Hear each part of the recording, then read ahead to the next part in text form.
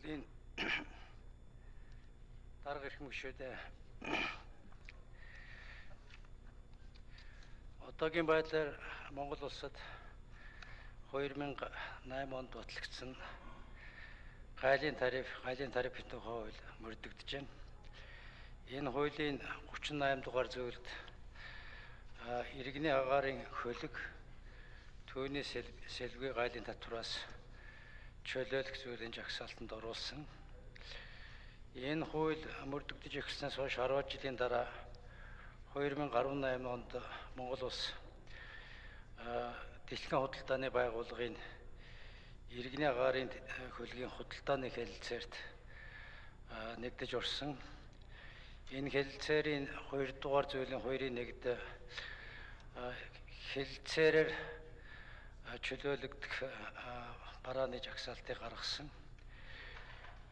8 онд батлагдсан хуулийн төрийн дурдсан 38 дугаар зүйлийг энэ 18 оны хэлэлцээрт нэржүүлэх зорилгоор нэр томьёоны өөрчлөлт хийх шаардлага гарсан. Энэ дагуу гайлын тариф гайлын татврын тухай хуульд хуулийн 38 дугаар зүйлийн нэгin яст гэсгийг өөрчлөн найруулах саналыг оруулж байна. За өөрчлөн найруулахдаа зурчих тээврийн хөлөг онгоц түүний сэлбэг гэсэн хэсгийг зурчих тээврийн хөлөг онгоц болон дагалдах сэлбэг материал засварын тоног төхөөрөмж багаж зэргийг гайлын татвараас чөлөөлнө гэсэн ийм өөрчлөлтийг оруулах саналыг оруулж байна. За сүүлийн жилүүдэд энэ хилээр агаарын хөлөг орж ирэх явдал нэлээд гарч байгаа. 16 онд 1, 17 онд 4, 18 онд 2, 19 онд 6,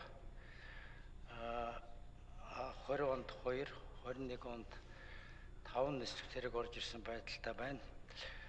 Хууль гэрээ хоёрын хоорондын зөрчлөөс шалтгаалаад агаарын хөлөг зарим сэлбэгийн татвараас чөлөөлөд түрүү миний уншсан тэр дагалдах хэрэгсэл материал засварын тоног төхөөрөм зэргийг татвар ногдуулахгүй байгаа зэрэг зөрчил илэрч байна.